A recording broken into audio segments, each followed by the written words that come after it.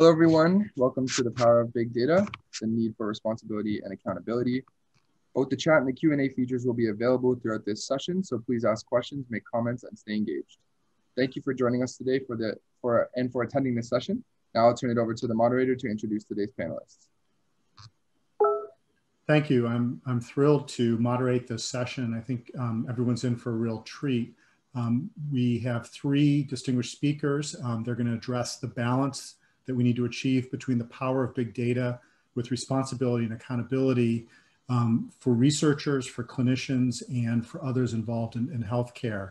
Um, our first speaker is Jodi Daniel. She's a partner with Crowell and Moring, um, and she will provide an overview of privacy protections for patients as they relate to the use of big data. Our second speaker is Glenda Roberts. Um, Ms. Roberts is the Director of External Relations and Patient Engagement for the University of Washington's Kidney Research Institute and the Center for Dialysis Innovation. And she will address the patient perspective on potential misuse of data, highlighting the work of a new task force focused on eliminating race-based algorithms in nephrology as, as a model. And our third and final speaker is Harlan Krumholz, who's a, the director of the Yale New Haven Hospital uh, Center for Outcomes Research and Evaluation, or CORE. And Dr. Krumholz will address the HUGO Project's current efforts, and empower, current efforts to engage and empower patients with their own data. Um, so I'll stop there. Um, I'll introduce our first speaker. And as she's getting set up, um, we will be taking questions at the end. So we'll have three straight presentations and then um, your questions and we will, um, uh, Deidre will open up the chat so people can start to post questions. And we're looking forward to um, a very interactive session at the end. So um, Ms. Daniel, uh, you're up first. Okay, let's see if I can do this. I believe in you. Thank you. I appreciate that. Okay, hold on. Uh, hold on.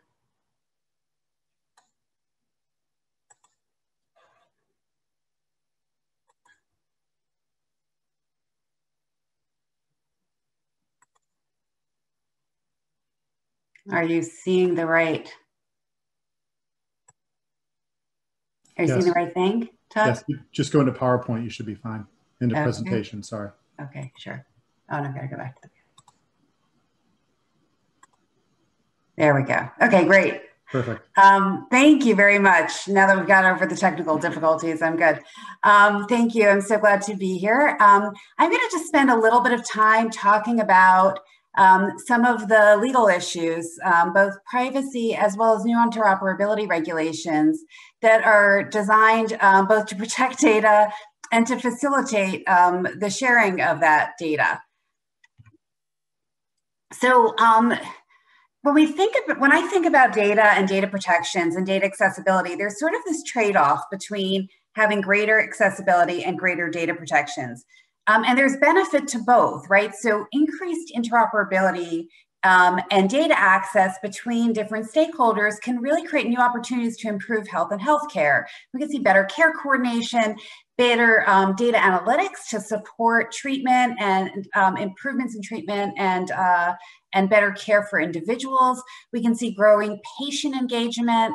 Um, and also we're seeing a lot of new innovative technologies leveraging artificial intelligence and machine learning to provide better decision support tools. All of that is really built on the availability of electronic health information um, that can support those different efforts. But on the other hand, there are significant risks to privacy and security. Um, there's also lack of transparency in how data is being used. Um, and so all of these issues kind of come into play. And there's really sort of this balance between data protection and data access. Both are critical, um, and we're trying to find that balance. And the balance keeps shifting. And so I want to talk a little bit about some of that shifting balance. So first, let's start by talking about um, health data protections and individual rights. So there's a series of different um, uh, regulations that uh, interplay here to support protections of health data. And there are some very well-established protections. So HIPAA has been around, uh, the HIPAA statute came out in 1996. The initial privacy regulations came out in 2000, um, and they really focus on um, data protection for health information, um, although with some limitations, and I'll talk about that in a little bit.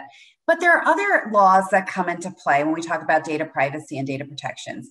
So there are some more stringent federal laws like the, um, the rules governing substance abuse treatment disorder data, which are the part two regulations that I show here.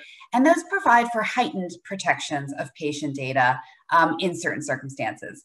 Um, there's also different rules the Federal Trade Commission focuses on, um, uh, can provide some enforcement of privacy protections for um, applications that may be outside of the HIPAA protected bubble.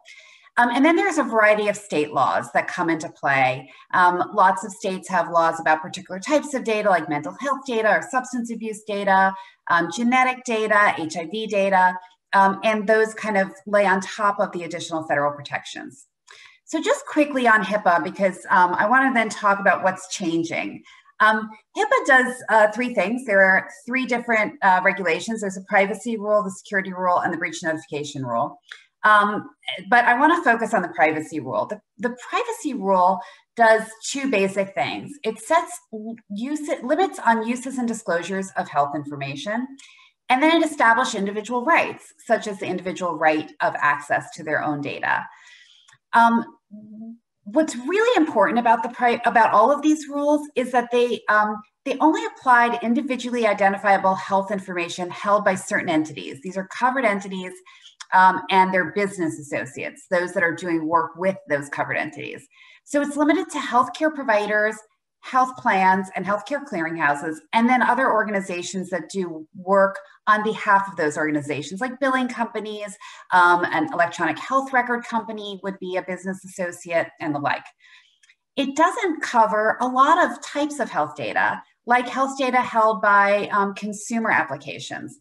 So if you have a mobile application that you're using to track your symptoms, uh, to track your, um, your exercise, to track your physical therapy, whatever it is, um, the data held in there, while it may be health information, may not be protected by these rules. Um, similarly, de-identified information is not protected by the rules. So to the extent that um, different organizations in doing big data analytics want access to de-identified data, um, that data might be outside of protections as well. And as we all know, de-identified data can often be combined with other data sets um, and, and not remain de-identified. So there's some risk there. Under HIPAA, again, um, we also have, I mentioned the individual's rights, including what I think is the most important individual right, the individual's right to access their own data. And this is going to come into play when we talk about the data access rules.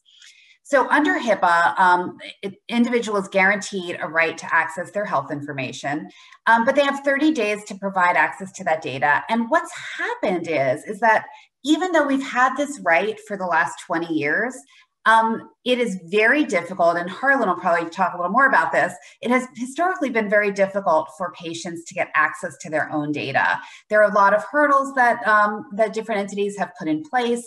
They've charged fees, even though sometimes those fees may not even not be lawful.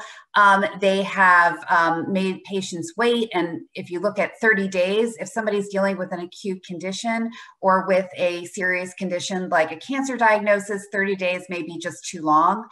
Um, and so there have been some challenges with really enabling patients to be empowered with their own data.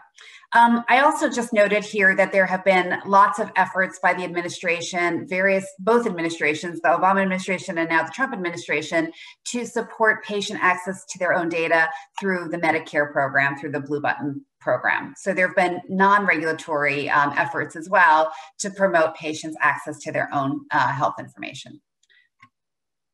So let's talk a little bit more about data access.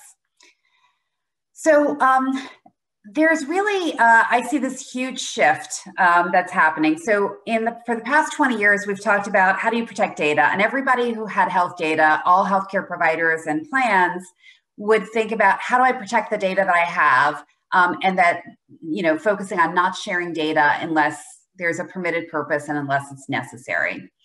So now we have a shift in that balance that, that I showed at the beginning, where um, there have been lots of different concerns about people not getting access to data that they needed. So I mentioned that patients have routinely had a hard time getting access to their data, even though they have a right. Um, we've also seen that even with a growing amount of electronic health records, electronic health information, that the electronic health information sort of remained in silos. So each, you know, hospital or health system would have these data silos, but the data wouldn't often flow between them very easily. And the government had invested $34 billion in the adoption of electronic health records with the hope that they would that patients would benefit and that the health systems would benefit from more efficient care at lower cost with better outcomes. Um, and that didn't happen right away because we had these silos of data. Um, the reason for that, or at least one of the things that, uh, and I, I had worked for the Department of Health and Human Services, so I'm speaking from my own experience and what our concerns were, was that data was seen as an asset.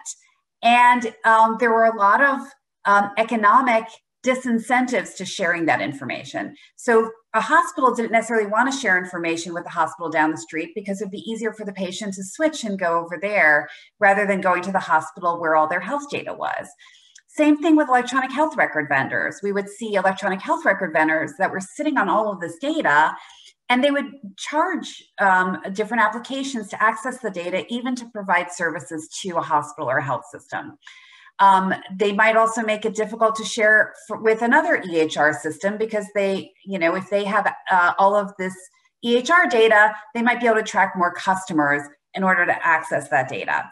So there were lots of economic disincentives to sharing data.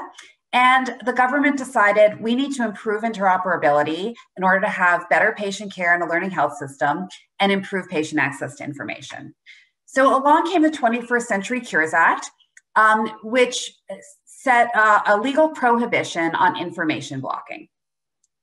Um, this means that uh, the, what Congress stated was that if an entity knows or should know that a particular practice is unreasonable and likely to interfere with, prevent, or materially discourage access, exchange, or use of electronic health information, um, that is a violation of law and the penalties can be up to $1 million per violation. So that's pretty big.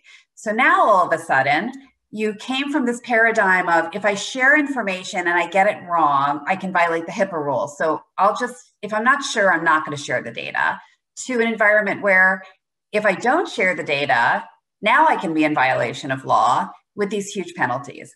Um, so we have this huge shift where now folks are trying to figure out, these entities are now trying to figure out how do we make data available so that we're not considered information blockers. Um, these rules, the applicability is different than HIPAA. So it applies to healthcare providers. Both of the rules apply to healthcare providers, HIPAA and info blocking. Um, it also applies directly to health IT developers, so those EHR vendors um, who used to be business associates under HIPAA or are business associates under HIPAA. They are now directly responsible, they're direct actors under info blocking. And then health information exchanges and networks, which is a fairly broad term that brings in a lot of entities. Any entity that helps with the sharing of health data um, can be a health information exchange or a network. Um, so it's not just um, the traditional HIE, it could be a broader set of actors. So this is, I just summarized what is an, what it, when is an entity in, engaged in information blocking? So you have to be an actor, you have to be one of those four different kinds of entities. Um, it has to be electronic health information, so it's not paper, it's just electronic, which when we talk about big data, we're talking about large sets of electronic information. Um, it has to interfere with access, exchange, or use. So now if, um, you know, if somebody's trying to get access to that data and somebody says, an actor says no, that can be information blocking. Um, there are exceptions, so you know, to protect privacy and security, um, and there are there is a potential that if you have a reasonable and necessary practice, that it could still be determined to be um, permissible, uh, but there's lots of risk if, if you don't fall within one of the exceptions. So what I wanted to spend just a little bit of time on is just this comparison of info blocking and HIPAA. Um, the way I think about information blocking is it really turns HIPAA on its head.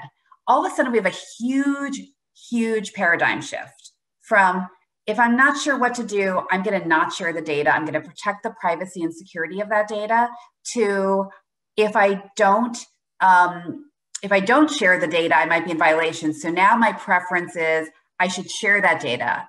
The way the, the rules actually say if a disclosure is permitted under HIPAA, not required, but permitted under HIPAA, and there's a lot of permitted disclosures, It is now required under information blocking. So if it's permitted under HIPAA, it's required under information blocking. And I'm gonna go through a couple of examples of where this might come up. Um, under HIPAA, there was a violation if you share data when it was not allowed. Under information blocking, there's a violation of not sharing data when it's required. Um, the penalties under the HIPAA rules are lower than the uh, information blocking rules, uh, which are enforced by the Office of Inspector General. Um, with the one caveat that they have not yet said how they're going to enforce against healthcare providers with regard to information blocking. So that's still up in the air. Um, and as I said, HIPAA applies to all, all data, paper and electronic, and, and info blocking is only electronic. So here's some examples. I just want to go through a couple of these. So now, um, a hospital, if a hospital requests medical records from a competing hospital for treatment of a patient, that would become a required disclosure under info blocking. Um, unless there's an exception. So, you know, if there's a risk of harm, if there, if the patient specifically said, I don't want to share that data, if there's a state law that requires consent, there may be lots of reasons for not sharing that data. But in the majority of cases, if a hospital asks for electronic health information from another hospital, failure to provide that or provide, provide that in a timely manner and in a standardized manner could be a violation of information blocking. Um, if a healthcare provider requests that electronic health information be transferred from their current EHR to a new HR, again, that would be a required disclosure. Um, and, and, all of this is, you know, there are some exceptions, but gener- these are generally um, uh, uh, the case. Um, if a healthcare provider wants their EHR vendor to provide an interface so that they, to a lab so they can get lab test results, again, they would have to not just provide electronic health information, but provide the mechanism for that data sharing to occur. Um, they could charge for some of their costs for doing that as long as they're reasonable and related to the cost of providing the service. Um, if a if an app developer wants to uh, needs access to health data that's in an electronic health record in order to provide a clinical decision support software to the health system, the EHR would have to work with that healthcare uh, app to share that data. Um, and here are some of the interesting ones um, that I think can raise some concerns. We can have discussion later. But if a health plan requests access to bulk data from a health information exchange or from a health system for population health management or care coordination purposes, which are all um, healthcare operations under HIPAA. That might be a required disclosure. Uh, if a pharmaceutical company requests access to records for research purposes pursuant to an IRB waiver of authorization, uh, it's a permitted disclosure under HIPAA, and therefore it is likely required under info blocking, again, subject to some exceptions.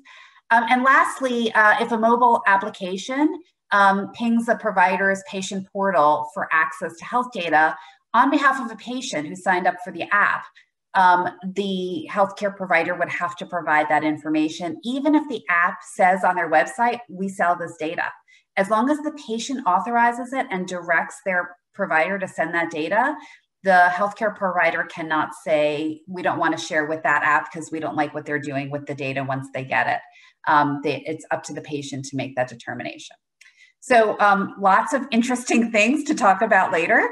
Um, and uh, I will turn this back over to, uh, to the next speaker. I can't remember who was going next. Um, thanks, Jodi. Uh, our next speaker is Glenda Roberts, um, and I will pause for a second to let uh, Ms. Roberts get her presentation up.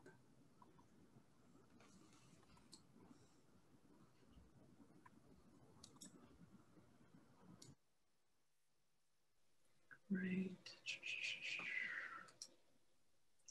Okay, great. Thank you, Todd. Hi, my name is Glenda Roberts, and as Todd said, I'm with the University of Washington with responsibility for patient engagement and external relations. And more importantly, I happen to be a person who is living with kidney disease. So in my first career, I was involved in the information services industry. I worked for companies like General Electric Information Services and Microsoft. And my career evolved from a software developer to a senior business executive. I went from the time where we talked about databases and database management to data analytics and the integration of data so that you have the knowledge worker, which leads us to where we are today. and that's the ability for people to make informed decisions using the data that's available. Now, my second career started about three years ago after I had retired, and I moved into the kidney health industry where I worked for not only the Kidney Research Institute, where we're looking at research to develop solutions to make life better for people living with kidney disease, and the Center for Dialysis Innovation, where we're actually developing products. And my job is to ensure that patients are active participants, not only as research participants, but also actively involved in the research projects themselves. So they become domain experts. And I work on a number of different, in the industry with other partners, I work on a number of different projects that are really exciting and really relevant to some of the things that I'll be focusing on later. One is the Kidney Precision Medicine Project, where we're recognizing that there's no one size that should fit all treatment for people living with kidney disease. As a matter of fact, they're probably not just chronic kidney disease and acute kidney injury, but there are probably maybe a hundred different types of kidney disease. And we're working to identify those and develop treatments and therapeutics to make life better for people like me who have kidney disease. Now, moving from a personalized perspective, I'm also involved on the Apollo project, which is focused on identifying a gene that is associated with kidney disease for people who are whose ancestry is from sub-Saharan Africa. Again, I have a personal interest in that because it would have been nice to know if that gene was the cause of my kidney disease. And uh, I'm a member of ASN and the National Kidney Foundation, which are sponsoring the EGR and Race Task Force, which is the reason that I was invited to speak here. I am a patient member of that task force, and it is made up of leading physicians in the industry as it relates to kidney disease so that we can develop a unified approach to evaluating the including, inclusion of race in the determining of the effectiveness of your kidneys. Now, COVID-19 is a global problem and it is testing everybody. Whether you're in government, a public health agency, a medical professional, or just a part of the general population, we're all concerned about kidney disease. And data can help us fight this virus if we ask the right questions. It can help us craft approaches to address the spread of the disease and also help us evaluate the effectiveness. For instance, the recommendation that we socially distance and that we use masks is useful but more importantly, we need to be able to evaluate whether or not these recommendations are working. It can also help us determine how to allocate resources as the disease moves from one state to one community to different subsets of that community, it'll help us make decisions about how we allocate our resources to best serve those areas or people that have the greatest need at any point in time. And it can also help us with the economy to help us to determine when we should reopen our businesses or if there's a need to close again. Now, this should be obvious, but bad data is not good. And that is incorrect or incomplete data can have adverse consequences. It, it can cause us to overlook important nuances within the community and cause us to make faulty judgments. It also potentially exposes people's private information needlessly, and it can be used for nefarious purposes. Ideally, we'd like for that not to happen, but people are creative, and so they will use the data in ways that benefit them that do not necessarily benefit us. So from my standpoint, the big question here is how do we migrate and contain the COVID-19 pandemic while we balance the social and economic cost?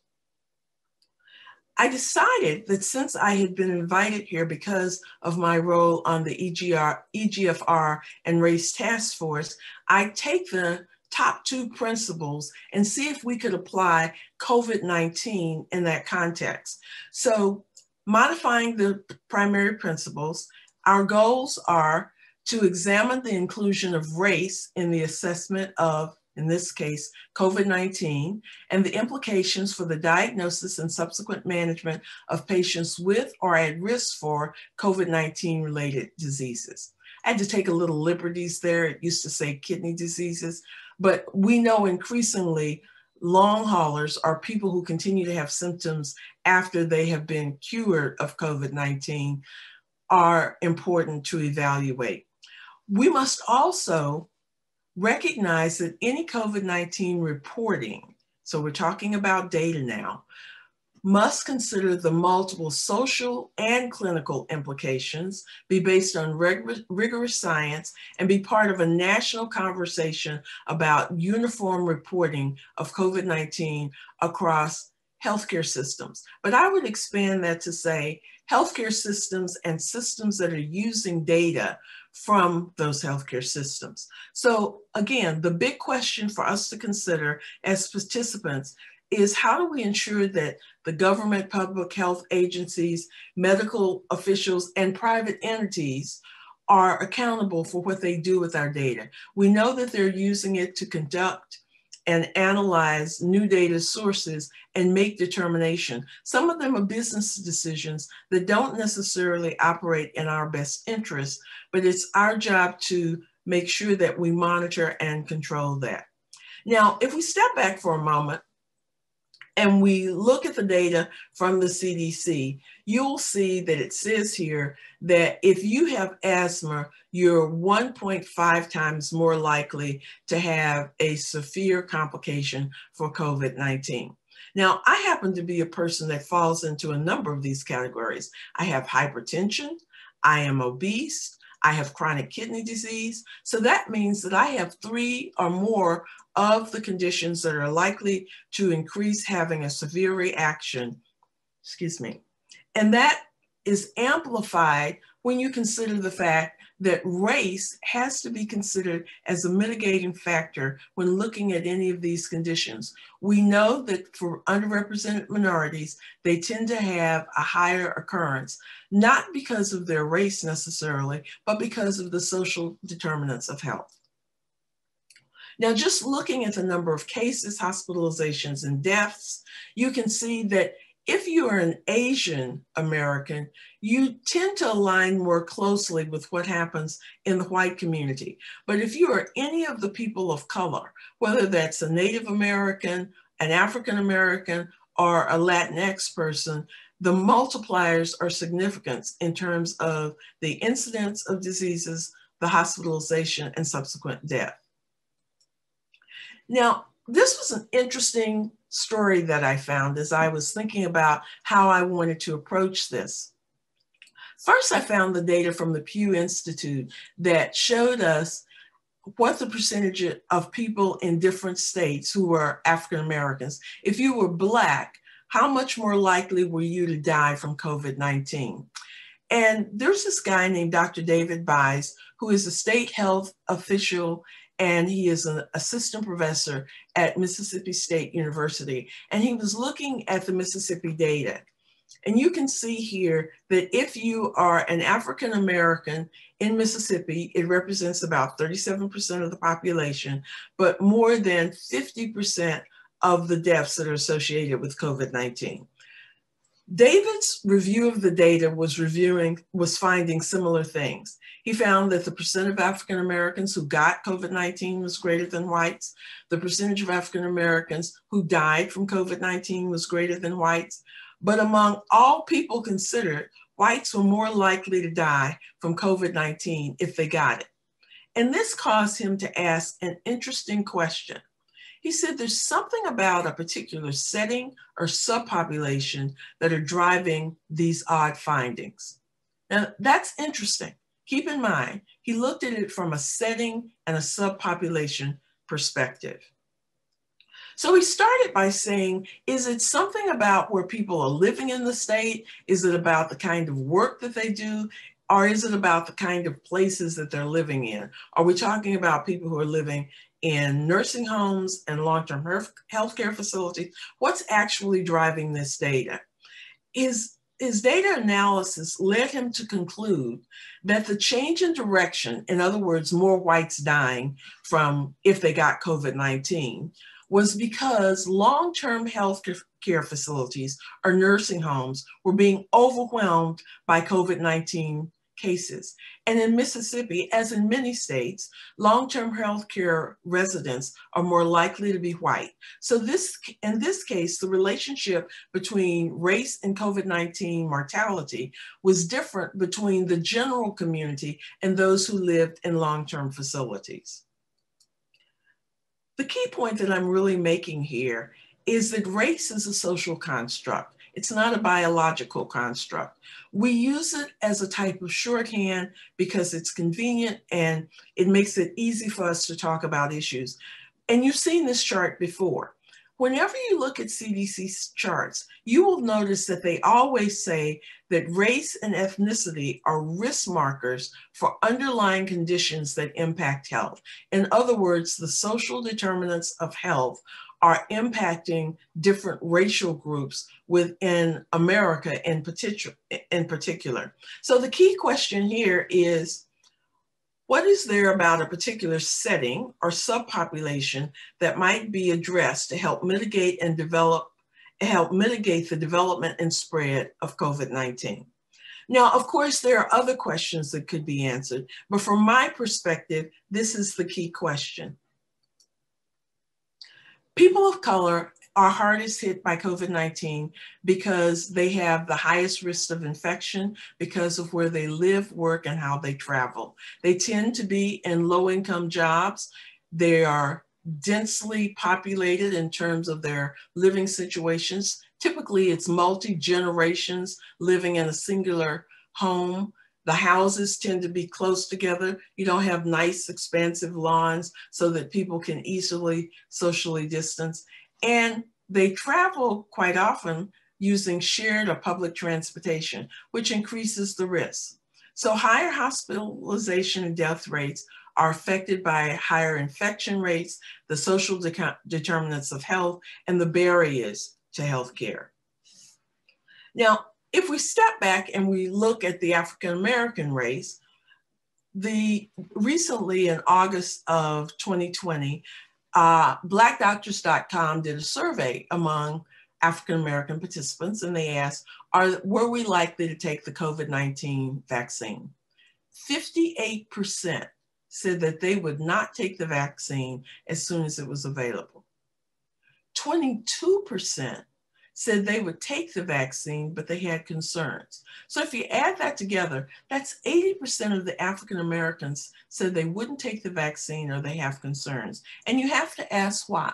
And the answer was that we don't trust the healthcare facility. Now, that's unfortunate since we tend to be the largest percentage of people that are being affected by COVID 19. But the distrust is not unwarranted. I'm sure you've heard about the syphilis study that started back in the 1930s, where you had this large group of African American men who were down in Alabama that had syphilis. And they were told by the US Public Health Department that they were going to be evaluated and given treatments for their conditions. They were not told that they had syphilis and they were not given treatments. The government simply allowed the disease to manifest to see what the ultimate outcome would be. The adverse impact was on the larger community because here you had men that had syphilis, that didn't know they had syphilis, that were interfacing with the rest of their community. And so the disease tended to spread throughout the community. Now, a lot of people say, oh, that was a long time ago. Actually, that wasn't a long time ago. While this was supposed to be a six month study, it lasted for over 40 years. The syphilis study continued even after government funding was discontinued, and it was not stopped until 1972. I was already out of college by 1972. So it really wasn't that long ago. The other case involved Henrietta Lacks, who was an African American woman who was relatively young, 31 years old when she died. She had cervical cancer and a guy named Dr. George Gey noticed that her cells continued to reproduce even after they had been removed from her body. Usually cells tend to die, as you know, after a period of time, but Henrietta Lacks cells didn't die. And when she died, Dr. Gey had his medical assistant go down to the morgue and harvest additional cells from Henrietta Lacks. Clearly, that's a, a, that was a violation of her privacy and there was no informed consent. And as recently as 2016, we're still seeing biases in the healthcare community against African Americans. This was a study written by Dr. Jane Sabin, who happens to be from the University of Washington. And it noted that healthcare professionals believe that Black people have that our nerve endings are less sensitive, that our skin is thicker than white people, and that our blood tends to coagulate quicker. I trust you, that's not the case, but that is a perception. And that is reflected to a large extent in the way healthcare professionals interface with ethnic minority populations, not just Black people, but all ethnic minority populations. A study that was done in 2010 and later validated in 2016 was that doctors tend to give ethnic minorities less information about their disease, tend to be less empathetic, and pay less attention.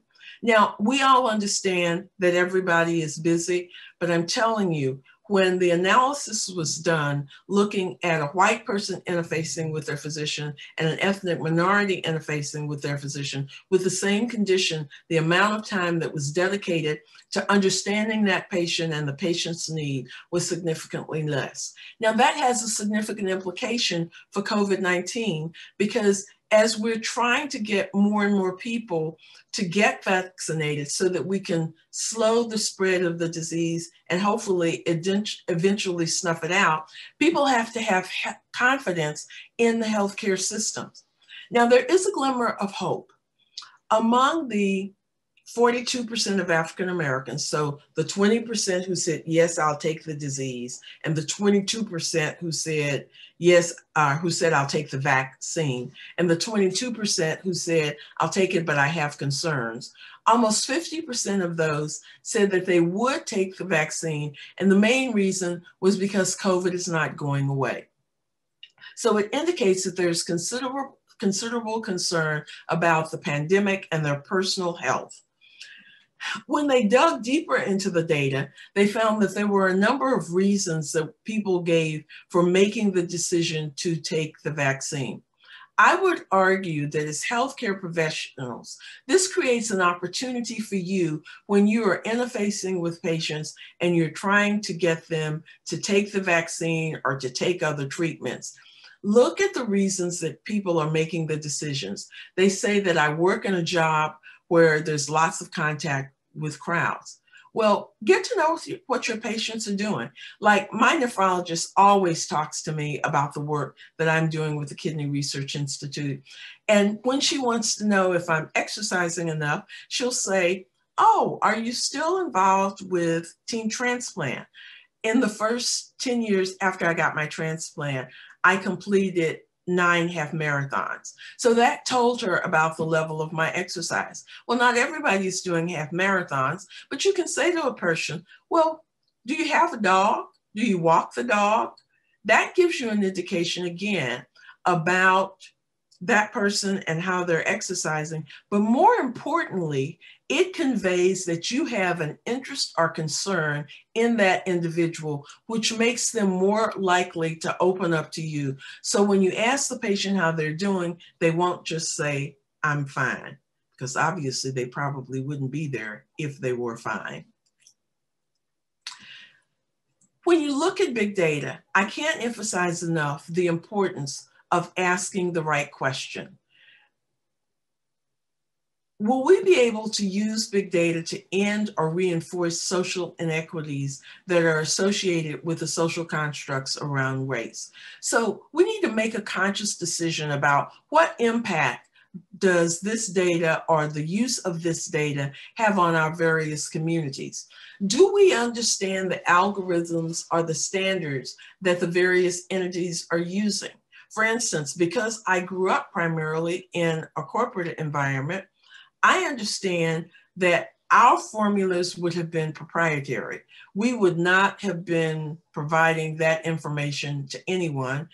And hopefully, governments will start to get corporations to be more open especially in the context of COVID 19, so that people have greater trust.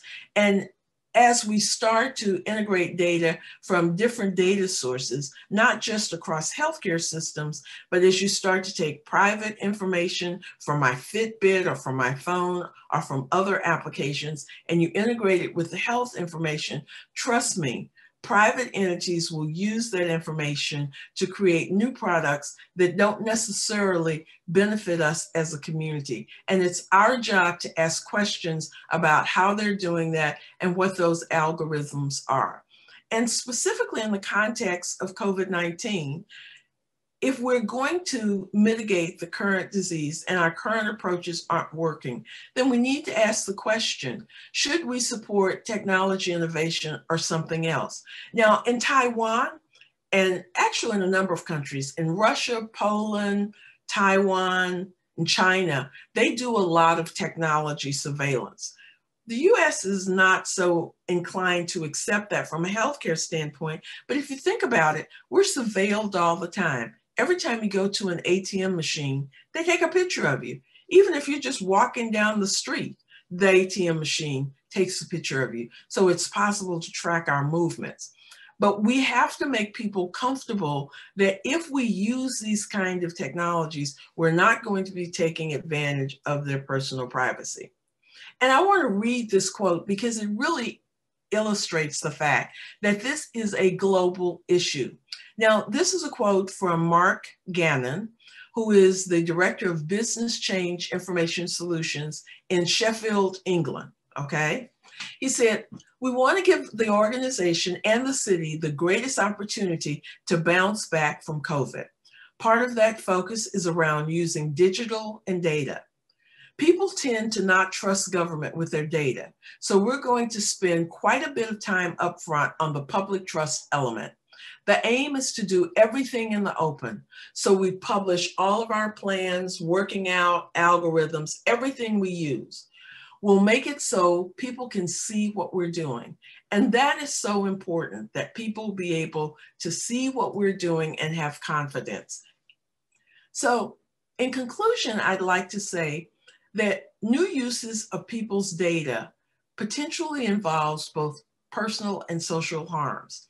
However, in the context of COVID-19, failing to leverage the enormous power of data to halt or slow the pandemic also involves personal and social harm. So I think our key takeaway is that we must mitigate and contain the COVID-19 pandemic while we balance the social and economic costs. And the question is, what do we need to do to make that happen? I'd like to thank and acknowledge those people that helped make it possible for me to share my perspective with you today. In particular, the American Society of Nephrology and the Kidney and the National Kidney Foundation the Kidney Research Institute and the Center for Dialysis Innovation, who are led by Dr. Buddy Ratners and Jonathan Himmelfarb.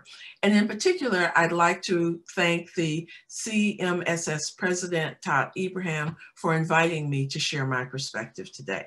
Thank you.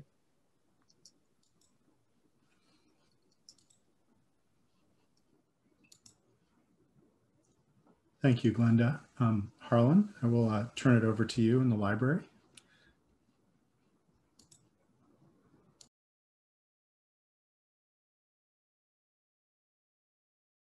Okay, great. Thank you. And uh, so appreciate the opportunity to be part of this terrific panel and to hear the great talks that preceded me. And I'll, I'll do my best to, to uh, both present something cogently, but to get through it, to give us a little bit of time for questions at the end.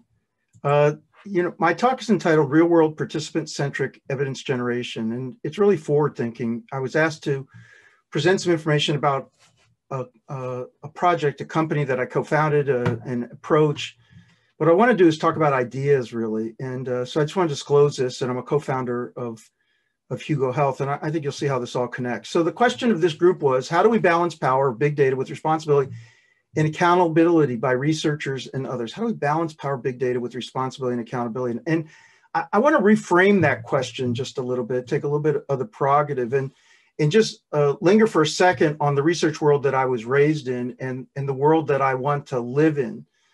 Um, you know, it, the world that I was raised in, what I mean is raised as a, an investigator, as a, I'm a cardiologist, I'm a clinician uh, and a clinical scientist, but really people were, were, were subjects and researchers were, were all knowing. And, and, you know, we saw data anywhere we could get it almost without regard to it, uh, as Glenda has sort of alluded to. We did it for, for great purposes. We it to make things better, but we, we were sort of, uh, um, full of ourselves a little bit in the way that we approach things. We didn't return results often. We would enroll people in studies and not even tell them what we found. Uh, we really weren't weren't listening intently to the people who were entering our studies. Like I said, they were subjects. We would catch them. We would get them in our studies. If they escaped, we go out and bring try to bring them back.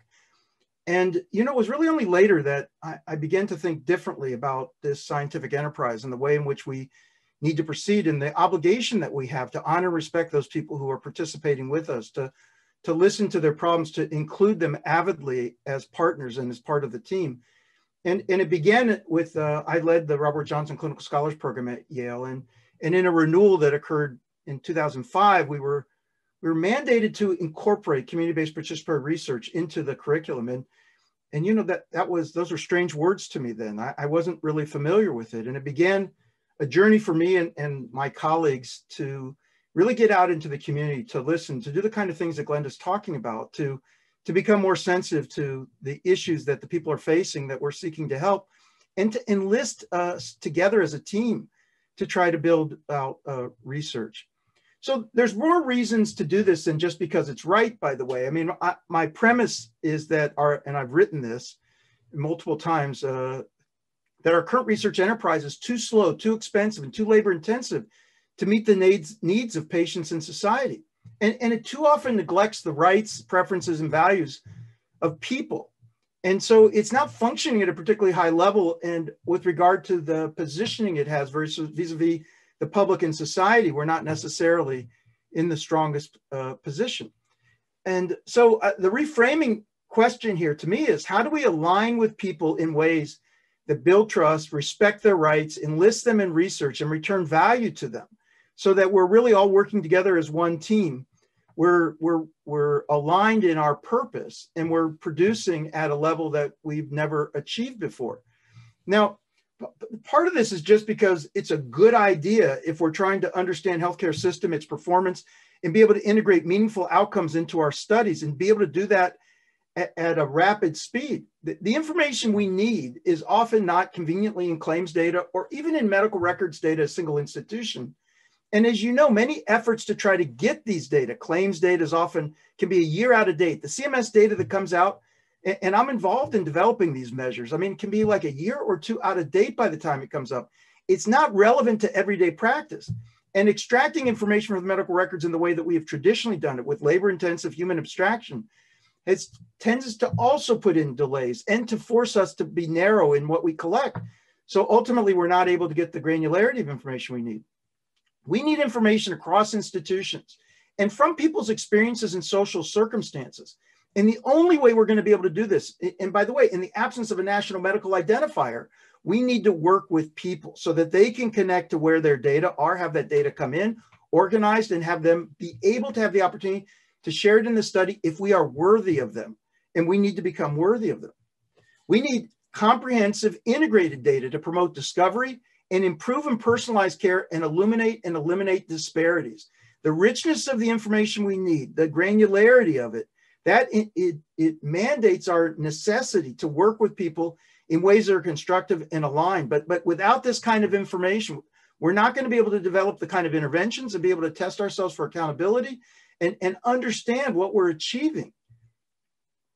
We need strategies, I believe, then, that empower people as partners, leverage the digital data, promote trust, ensure privacy and security, and create opportunities to uh, bring that data together and harmonize it in ways that will have great power. And I want to just uh, focus on this promote trust idea because the the issue is is that if we continue to work behind people's back, if data continues to circulate, if as Glenda said that people aren't sure what's happening with their data and, and whether it's in their best interest, we will continue to diminish the trust between science and the public, and we will diminish our opportunity to work together as partners. People won't listen to us. We we will continue to go down this path that will undermine the, the possibilities and potential that we have within science to actually make people's lives better and healthier. Now, as, as Jodi said eloquently, and, and I really posting these slides be very important. That, that was a chock full of information talk that has really essential information for people to know in this era. These new laws reinforce the ability of people to bring together health information about themselves and to make decisions uh, about it uh, in ways that, that have been kind of anchored in the law, but not really promoted in the way that these new rules and regs uh, enable. And they're going to make a new era possible. Now, this era could be beneficial or harmful, honestly. And so it's going to be up to us to weigh in and ensure that this is all in the best interest of people and strengthens their position in research and clinical care. This is the era. We are not going to go back to an era where we just don't tell people stuff. It just doesn't work. It's not going to work like that. It's going to work where data is going to be moving more freely. People are going to have more choices and options. And we're going to have to make sure that it's, it's aligned in their best interest and there are safeguards and guardrails. My, my vision about this is people, when we're talking about on the research and knowledge generation side, it's people as partners in research uh, and people and their data fueling the research engine. People being respected and rewarded for their research contributions, which includes making sure that they know the results of what we've done. Now, just to, to show you an example of this effort that I've been working on, as I was working in PCORI, as I was working in various areas, and we were talking about these kind of ideas at the NIH and other places with, with professional sites, with the American College of Cardiology. What was obvious to me was that there was a lack of a platform, a medium to be able to provide this that would adhere strictly to the idea that, mon- that it was not going to monetize data behind people's backs or in any way move data without people's permission, but was going to strengthen people's permission to become partners in prospective data collection and, and be able to provide the real world data that I believe is necessary to get to the granularity uh, that will enable us to do the kind of work that's necessary. So uh, created this thing, Hugo Health, uh, which was really a patient-centered real-world data collection and sharing it. And I'm here to share you the ideas and example of this. I'm not here to, to promote or sell, but rather to, to, to get you thinking broadly about something like this. And so this was a turnkey research solution that is intended for participant as partner studies. And by the way, Glenn, we're, we're doing a CDC-based study at the University of Washington on long haulers that I got to pull you into that uh, I, I'm not sure that that you're aware of, but but this is a way to say that how do we engage people? And and just to I don't know if I have time to go through this, but just to give you the sense is that the the the the story was that it, we set out to drive clinical research in healthcare towards a more patient-centered paradigm that created greater effectiveness and efficiency through better use of people's data. And the problem to be solved was that there were inefficiencies and underperformance in clinical research and healthcare delivery because of inadequacies in information flow. And the right data is not available at the right place at the right time. And often when it, it, it is, it's in an inter, inoperable format, undermining the potential. And we envisioned value in a platform that would provide people agency over their healthcare data, integrate data from disparate health sources, different EMRs, wearables, sensors, remote monitoring, surveys, and, and, and be able to create an engine that overcame the interoperability issues and then fuel better science and discovery. And the mission was going to be to transform healthcare by connecting people and their data, helping people embrace their potential of the health information for themselves, their families, in society through participation research that could speed discovery. And that this could ultimately have applications within when patients, people with their data seeking second opinions, people with their data having now comprehensive longitudinal data about themselves, not fragmented information, being able to dock into places where then they're receiving their care. And the, the sort of simplified model of this is that the participant on the far left is able through their credentials and now with the power of the, the new regs to be able to connect to where their data lies, whether it's health systems, pharmacies, payers, wearables, and could produce surveys and through uh, APIs, these uh, uh, these application program interfaces, connect, and then on an on a virtually everyday uh, uh, uh, frequency, like Jodi was saying, is now permitted in the law. We could go collect that data, bring it in, harmonize it, and have it as their data asset. And then with their permission, and this is the, the middle part, this harmonizing engine, then with their permission, it, either they could see it and view it, or it can be sent wherever they want to send it to, to clinicians, to researchers. And all of that is updated in almost real time. So it's not a matter of waiting, going requesting data. It, it's coming in and it's being mediated through the individual. So it's B2C to B from the data source to the person who then with permissioning allows it to go where they want it to go. And, you know, so we're able to connect to 3,500 healthcare systems, to all the pharmacies. We're now connecting to payers because of the regs, device systems, and, and be able to put out any kind of patient survey we want. All that data goes back to the person. And then the permissioning is then it goes to where they want to send it. But the person is always retaining a copy of all their data in a secure cloud-based account that they can access or provide sharing to. And you know, an important part about this is that data is not a commodity. It's not just about the connections, but it's about providing the true interoperability at the various levels so that you can be confident, they can be confident, and whoever's working with them can be confident that the data is high quality. I'm a researcher. This data quality issue was really important to me. And it blew my mind about all the ways in which the data that you can get electronically can be corrupted or mislabeled or miscoded or misclassified, even with FHIR endpoints. So there's a lot of work FHIR can transmit, but you've got to make sure that the underlying coding and mapping is proper. And this is all things that, that, that are necessary, no matter who's doing it. So, you know, we, we sort of put this together so that you know, we're, and we've done studies, by the way, in low health literacy groups and in variety of groups because we don't want this to build a digital divide.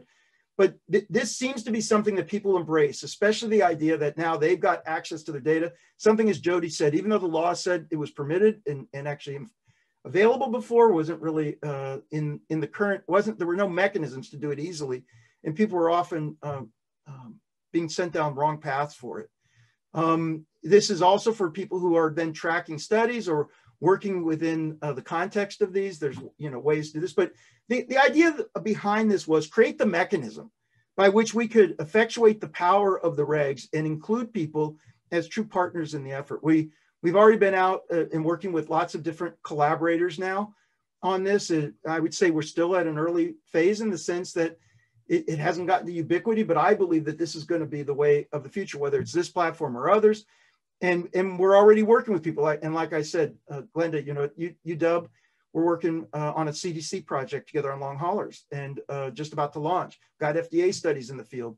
There there are lots of things because and all these people are committed to this idea. So so what could the future look like? Well, you know, my question is, could this be the next generation registries? Well, you know, we'll still need to look at retrospectively, but we need to be able to engage people prospectively with alignment of patients with rich information about their care and outcomes. Are these, is this the next generation real world registries? Is this uh, kind of the kind of real world, real time data with people's participation that feeds directly into a knowledge generation pipeline for discovery, accountability, and improvement so that this becomes a steady stream with people's permission that helps us to learn rapidly, both for clinical care and for discovery, can these participant-centric platforms like Hugo improve trial recruitment, retention, and outcomes ascertainment so that this becomes large numbers of communities tied together because they're facing similar health challenges, exchanging information and learning together, and a readiness cohort to go straight into trials with data flowing. And then with their permission, being able to then say it can go into trials to help to identify the outcomes. The vision again, communities of people empowered by their data partnering in knowledge generation and producing a, a healthier future. I, I think we're going to see more and, and more of this. The Grave Medical Societies also became very interested in this and saw this as one of the types of areas that they are going to engage in. Thank you.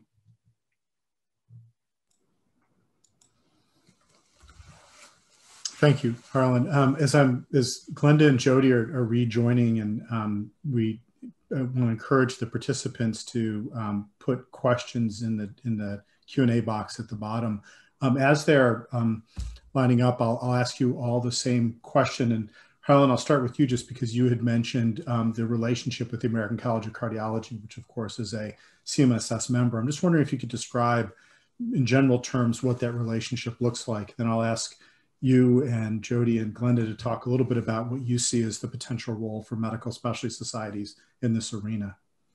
Yeah, so I, I think, you, you know, as ACC, I'm really proud of ACC and, and, and what it's done in, in its leadership and registries. And, and actually all the medical uh, uh, professional groups have, have been pioneers in these areas. But uh, at ACC, we've, we're spending a lot of time talking about, so there is a legacy approach that has been embedded but it, it, it requires a big investment by hospitals and, and and there by the way there's an outpatient one that's more digitally enabled but there's an interest and an appetite i think in whether or not a next generation might involve patients uh, in, a, in a more partnered way like this. And we've so we've done a pilot project with acc where we sort of have done a bit of like so you, know within acc we have a lot of uh, procedure based uh, ones. So there's a cath pci one. And so in the cath lab we were enrolling people coming through the cath lab onto the platform and then having data stream in you know at, in a follow-up so that not only were we getting what happened in the hospital but then we could figure out what were the what was recovery like? What was how did people recover the function? What kind of symptoms they have? I mean gave us sort of a more refined view of what the experience was like for these individuals. And I would say we're continuing conversations about what kind of opportunities there might be to continue to expand in this kind of uh, approach that I think in the short run will complement existing legacy types of endeavors. But, you know, I think all the professional groups need to start looking and saying, what's this going to look like in five years? Because it's unlikely to be maintained in the same kind of approach that we've had for the past 15. So, you know, I think that they're eager and avid, and they've got a big innovation arm. John Rumsfeld's been so running this now. He, he's uh, elevated within the organization, is thinking hard about how they're planning for the future. And part of that planning is how can we partner more avidly with the with the patients in new and in ways that are digitally enabled. Um, before I move to Jerry, just a really quick follow up question, and it's it's a yes no do you think cardiology it's easier to navigate these issues in cardiology because of all the different subspecialties or do you think that's not a concern or an issue? I, think this has widespread application because the kind of needs of the patients in cardiology same as it needs everywhere. In fact i i, I think yeah no i i don't think it's unique to that so Jodi i, I interrupted you. I'm sorry. No, that's fine. Um, thank you for the question. I, I, think there's a real opportunity for uh, medical specialty societies, one, to help educate um, their members about the these changing regulations and how there's sort of this growing drive for um, more access to information to help support patients, patient care, and research, um, including for big data. Um, and, and also to set some um, some best practices for how to do that in a way that both that balances this the, the, what I was showing before, the need to protect the data as well as to make it available for important purposes. It, it's a really, you know, one of the things we've been working with a lot of a lot of different organizations on is how do you like these rules seem to almost contradict each other, at least in, in principle.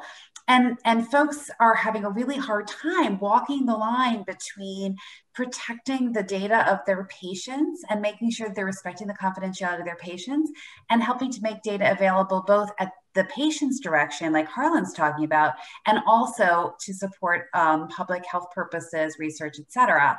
And I think that specialty societies can really do a great service by helping folks to, by developing some best practices and helping um, members to think through those difficult issues in order to make sure that data can be available um, in ways that it's intended where it can do the best good. Thank you. And Glenda, from your perspective, what, what do you see as a potential role for medical specialty societies in this arena? Well, Tod, you know, and everyone else knows that there is a tsunami of data about COVID 19, and that information is changing rapidly, and it's difficult for individuals, whether you're a practitioner or a patient, to keep up to date. So I think that medical societies can be a great trusted source of information, a place that your members can go to get better insight and guidance about what the most current thinking is. But I think another role that you can play is one of advocate, advocate with the at the federal and state government level to make sure that the rules that are implemented are in the best interest of the patient and of the community. Great, thank you. We have a question from Marty Liggett, who's the executive director of the American Society of Hematology. Um, just to warn Jodi, she's also an attorney. Um, so uh, her question, maybe I'll start with you, Jodi, and we'll go around the group, is Uh, could you elaborate on how much you think the new interoperability requirements will or will not change registries? Thank you for that. And thank you for the warning to let me know that I'm talking to another lawyer. Yeah. it's always helpful. Yeah. Um, so I think it can actually, I think it can change registries by making it easier to get access to high quality data in standardized format. Um, one of the, so, um, you know, would have to think more about particular scenarios, but um, like I said, um, the, the rules are really designed to try to facilitate the availability and access to data for important purposes. Um, registries are permissible, it is permissible to disclose information to registries, which means that under these rules, there is there it, it is very possible that registries can um, use these rules to get access to more information, um, as well as to th there's a real push in the rules to having information available in standardized format. Um, and, and so again, I, I don't know how every registry is working, but to the extent that that data is coming in in different ways or different quality, or th there may be some growing standardization for that data to be accessed, as well as um, additional um, interfaces and standardized interfaces and APIs that enable the sharing of that data. So, uh, you know, uh, I'd have to think more specifically about how, you know, more more concrete how it might help. But I do think that it can be um, a helpful tool, and that folks, that societies that have registries should look at the regulations to think about where they're having roadblocks today, what concerns you have, and how these rules might help facilitate the conversations with organizations for sharing the registry data, and then also for um, getting it in a standardized format. I'll just weigh in quickly here. One is, by the way, I want to say that I think one of the great strengths of this group is is that you do have trust. Like people trust the the societies. They they believe that the societies are in it to help help them, help patients.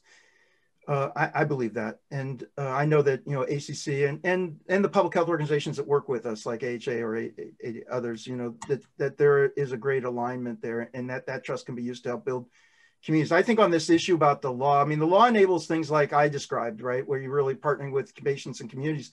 But I think that the society should also be thinking forward to a world where um, how, how are they going to manage the electronic data and be able to distill knowledge from it? So increasingly what you're going to see are ECQMs, these electronic clinical uh, uh, quality measures, and, and obviate the need for human abstraction from the data, but to be able to get pipelines of data that will be then able to be analyzed and organized and in real time fed back. The real promise of the learning healthcare system is that data that's being produced in the everyday operation of the healthcare system can end in people's lives can then come into common data lakes and be analyzed and organized in ways that and fed back to feed discovery and accountability and improvement together. And uh, and part of what I'm advocating is that we we do that in partnership with our patients that we get that we're inclusive and and, and wide-eyed around how we can make that happen. But but i think it's not so much in my view the law on the registry part is is just uh, showing that we are on an inexorable drive towards a different era a digital era. And the question is how will the the registries catch up to that era with more partnership with people and also just traditionally as they get pipelines of data from the institutions how are they going to obviate the need for the usual kind of labor intensive slow expensive approaches you know, as a data processor, the interoperability question is one that I'm probably biased towards. But as a patient and a person who works in the healthcare area, what I find is that many of the members of these societies aren't sufficiently comfortable using the technologies. They tend to be risk averse. And so I worry that they may not be able or prepared. So it's on the societies to make sure that you address this they may not be willing, able, or prepared to effectively use the data to its best end. So I'm going to give Glenda the last word. Um, and we've worked together for a long time, so I know that's the right thing to do. Um, but I want to thank her, I want to thank Jodi, and I want to thank Harlan for just outstanding presentations. Um, I wish we had more time for the discussion. Um, thank the audience um, and look forward to, there are a couple requests for slides and for the recording. So we look forward to pulling that all together. But just to thank you very much. Thank you. Thank you. Bye-bye.